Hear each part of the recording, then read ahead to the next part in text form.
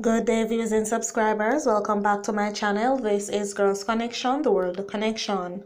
Please remember to subscribe, like and share. Also, click the notification bell to receive daily news updates locally and internationally. Stories coming up in today's news headlines are One bullet, two victims. Shopkeeper stabbed to death over music. Windscreen wiper among two shot and injured in Dunrobin. Cops running into problems with alleged downtown serial robber probe. Jamaican fishermen allegedly abused by U.S. Coast Guard. American allegedly scammed Jamaicans with promise of green cards. Allman Town reels from shooting of 66-year-old.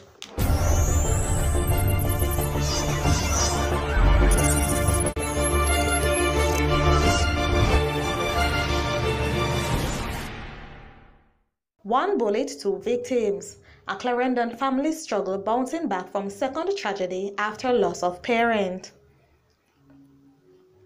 The toll that violent crimes can take on families was made real for teenager Omarion Gale and his stepfather, Delroy Lennon, who were both struck by the same bullet while inside their Oliver Gardens Effortville yard two years ago. On April 27, 2017, four days after the family buried Gale's mother, Terrion Forrester, who died from an illness, a running gun battle between warring men almost crippled the youngster. Lennon recalled that Gale was outside playing as the distant sounds of gunfire crept close. My big daughter, who is not Terrion's daughter, was sitting out a road. She came into the yard saying she heard shots firing up the road and the sounds were getting closer. When everybody came inside the yard, only my stepson was outside. I called out to him to come in. He came in the yard and was heading inside the house. Both of us were now standing in the doorway when one of the bullets flew into the yard, went right through my thigh, and went into my stepson's groin area, Lennon said. Although himself injured, Lennon's primary concern in the immediate aftermath was for Gale, who spent weeks in the hospital. He was in hospital for three weeks. They cut his leg in a number of places because the doctor said when the bullet entered him, it moved around all over his leg, Lennon said. I had to be at the hospital right through because the doctors couldn't touch him. Everybody thought he would not be able to walk again. When we brought him to the hospital, we had to lift and carry him. Hope of Gale walking again came when a Rasta man shared a remedy with Lennon, encouraging him to apply to the boy's leg, and the now 14-year-old defied the odds to walk again, and despite occasional pain in his right leg, his stepdad has a hard time keeping him away from the football field. Little by little, he started tipping on the foot until one day I told him to go by the shop. When he went down there, he spent around one hour to hold people glad to see him. Right now, I have to quarrel with him to leave the football. When in play, sometimes it pained him the stepdad recalled. Lennon, who was a tractor driver, recalled how he could not go to work anymore, especially after becoming a single parent, responsible for the two children Terrion brought into the relationship, plus the two they produced together. I am in charge of the four children. From my small, my auntie used to tell me to learn to cook, wash, and clean. I never yet call anybody to come and wash their clothes. I wash their own and my own different days of the week and everything runs smooth, he said. Throughout the struggle, Lennon was assisted by the Clarendon-based James and Friends Foundation, which fully stocked a shop he operated at the front of his yard and assisted with sending Gale to high school. What James and Friends has done for me, their blessings cannot stop. They have uplifted me and made me feel good. James and friends gave him 400,000 worth of scholarship and he is able to go to school every day, a grateful Lennon shared. Omarion said that he almost lost hope because of the severe pain he used to feel. It was really hard for me. I couldn't go to school, little boy like me. I almost gave up hope, but I got help from James and friends and I give God thanks for the help. The shop sends us to school. It was really hard. I had had to repeat grade 6. I am in high school now and I give thanks. Stabbed to death over music. The Sunday police in Hanover say that they have now taken two security guards into custody in connection with the stabbing murder of a shopkeeper in Hopewell in the parish yesterday morning. The deceased has been identified as Miguel Musselman Brevet of Pond Peace in Hopewell. Reports by the police are that about 7 a.m., Brevet and the two guards got involved in an argument, allegedly over a music system. During the dispute, Brevet and the men were standing along the Pond Peace main road in the vicinity of Hopewell Seventh day Adventist Church when knives were drawn and Brevet was stabbed multiple times. He fell to the ground while the two accused jumped into a motor vehicle and reportedly drove to the Sandy Bay police station and handed themselves over to the police. Over the past three months, six persons have been killed in Hopewell and the surrounding communities, and residents say they are now very concerned. Tell no lie, Mr. Reporter. The state of public emergency in Hanover now help with one bit. One community member who gave his name as Robert said, I just want to them kill a youth in a the square in a imbus, and then another one in a bamboo. The man them come with the state of emergency and then three more youth dead like a bird. So I want the soldier them and the police them there. He added, see them now, them stab up muscle man. Him is a good youth. Him don't give trouble. Him barely talk to people. Him is just a youth who start him little shop, mind him own business. Robert also criticized what he considered of lack of presence of the joint security forces. We not see no police in a day, none at all. The only time we see them is at night time when them drive around and lock down people business place, he said. Since the start of the year, 17 persons have been murdered in Hanover. Cops running into problems with alleged downtown serial robber probe. The police are saying that while they have apprehended a man who they believe has been behind a series of robberies in downtown Kingston over the past month, despite the major breakthrough, they are now faced with the prospect of having to release a suspect without him being charged for any offense. The man who we have in custody, we believe, has been behind more than 20 robberies in the last month alone. But despite this major step, only a few persons are coming forward to tell their story. From indications, it appears that so far not enough evidence has emerged to lay any charge against the suspect. The man was held after he reportedly slashed the hand of a woman and stole her bag on Friday and was about to escape when, when members from a police team managed to apprehend him, said a detective on the case. The police said, based on the limited support from members of the public over the last two days, they are again calling on persons who may have fallen victims to the reported criminal acts that the accused is believed to have figured in to come forward. Jamaican fishermen allegedly abused by U.S. Coast Guard. Four Jamaican fishermen were detained for nearly a month aboard a U.S. Coast Guard vessel in the Caribbean Sea, spending much of their time chained to the deck in the blistering sun, while their families believed they were dead, according to a lawsuit filed Wednesday. Coast Guard said officers interdicting the vessel on September 14, 2017 saw the crew toss packages of marijuana into the water and they recovered about 600 pounds. The American Civil Liberties Union said the men had inadequate bedding, were given rancid food, and deprived of water. They were also not allowed to wash off the salt and grime from their skin and received little to no medical treatment for their injuries, according to the lawsuit which seeks damages on behalf of the men through maritime law. There are no human rights out there. Luther Fian Patterson, one of the fishermen, said in a statement, They treat you like animals. You are like an animal chained to the deck on your foot. The crew of the 32 foot fishing vessel Josette was caught up in an effort by the U.S. to interdict drugs at sea. The Maritime Drug Law Enforcement Act of 1986 made smuggling in the international waters a crime against the U.S., so anyone caught moving drugs on the water could be prosecuted, even if those drugs were not bound for the U.S. The Coast Guard in the agency tasked with hunting down potential smugglers, arresting them, and bringing them to the U.S. for prosecution. The lawsuit said there were no drugs found on the crew and none aboard when the Coast Guard searched the vessel. It said the men planned to line fish for tuna and a snapper and had set fishing traps in Morant Cays, about 8 hours from Falmouth, Jamaica, a popular fishing spot. An unexpected storm blew up and their power went out and they got lost and started navigating toward land, not realizing it was Haiti, the suit said. After detaining the fishermen, the Coast Guard said it sought permission from Jamaica to prosecute them in the U.S. When Jamaica complied, they set out. The men were transferred several times to other vessels, in part because Hurricane Maria started to strike, and the Coast Guard was responding to the disaster. According to Coast Guard LT Scott McBride, the chief of media relations, they couldn't transfer the men ashore in Puerto Rico, a closer destination because the island had been devastated by the hurricane. The Coast Guard complies with both international and U.S. domestic law and works closely with our Department of Justice and Department of State colleagues to ensure that compliance, McBride said in a statement.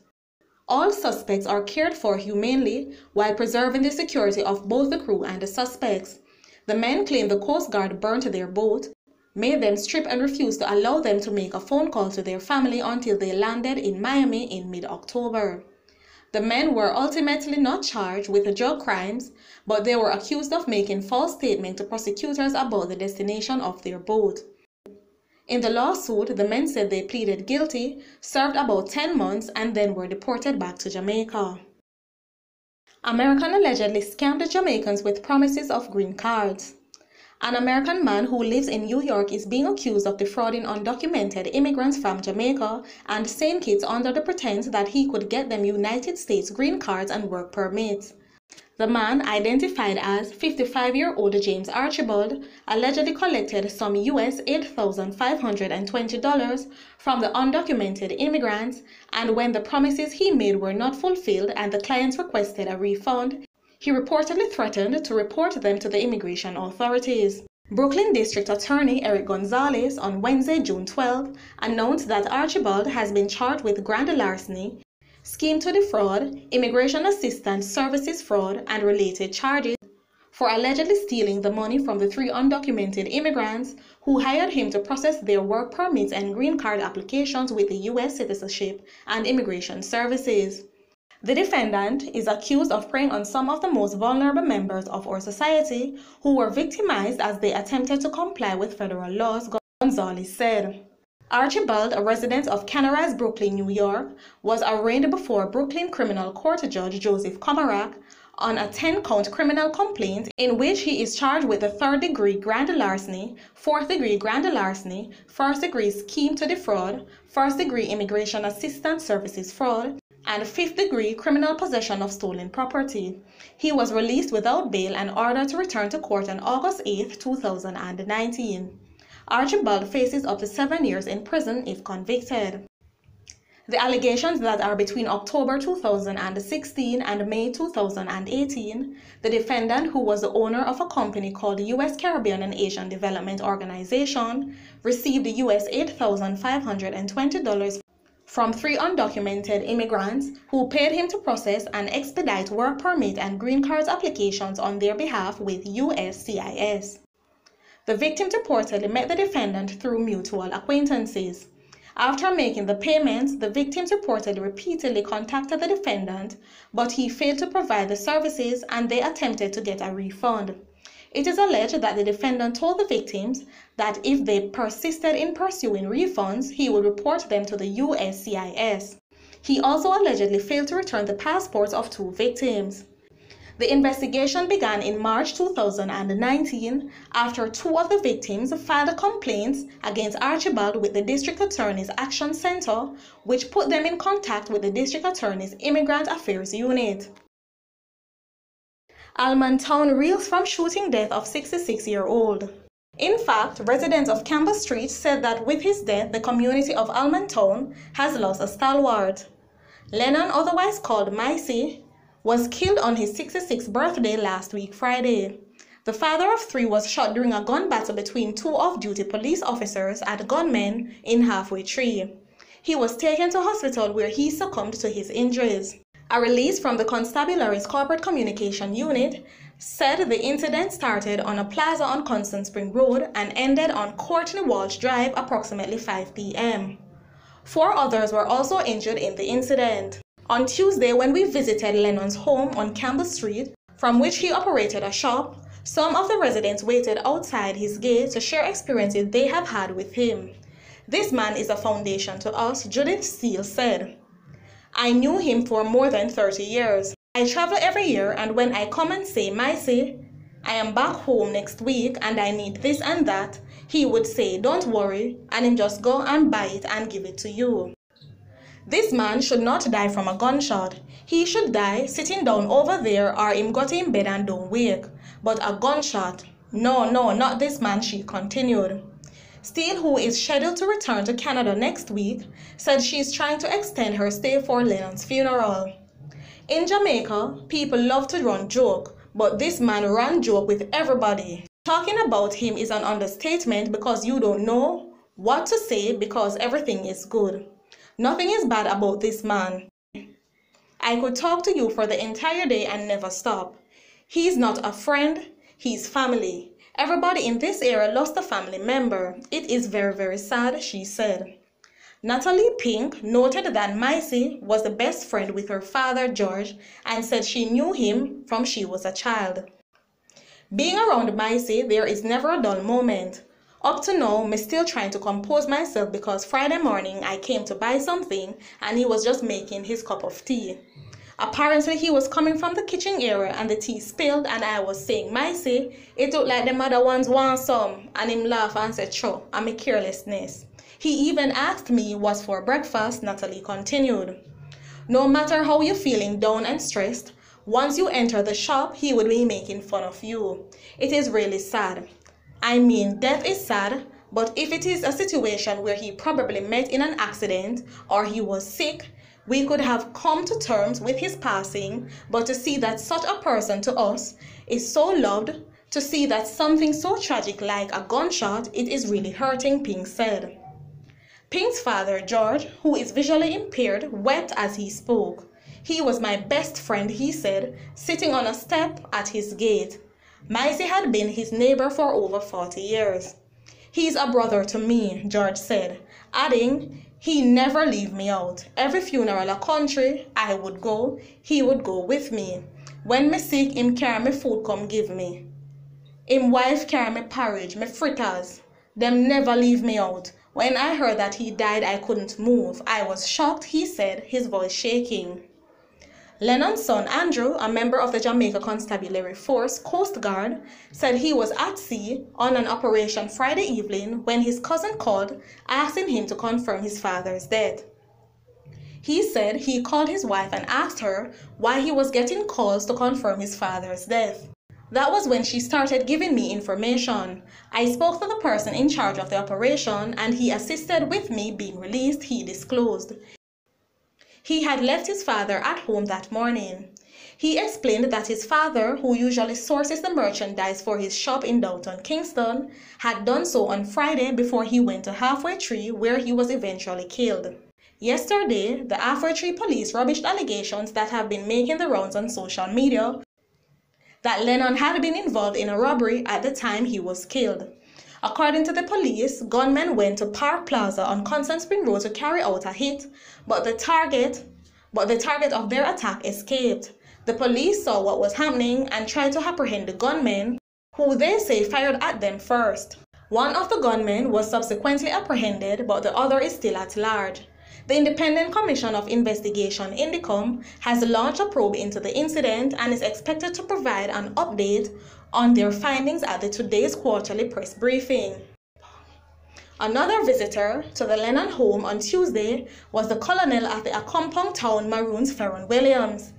He described the late senior citizen with whom he attended school as his best friend and a hero to Accompong Town.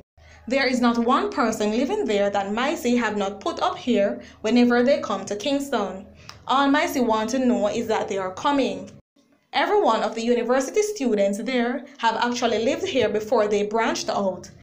Police, soldier, everybody who is from there knows 11 Campbell Street, Colonel Williams said as he fought to hold back tears. The Maroon community, he said, is at loss of words. This is Girlz Connection, the World Connection. Please remember to subscribe, like, and share. Also, leave a comment in the comment section down below. Thank you.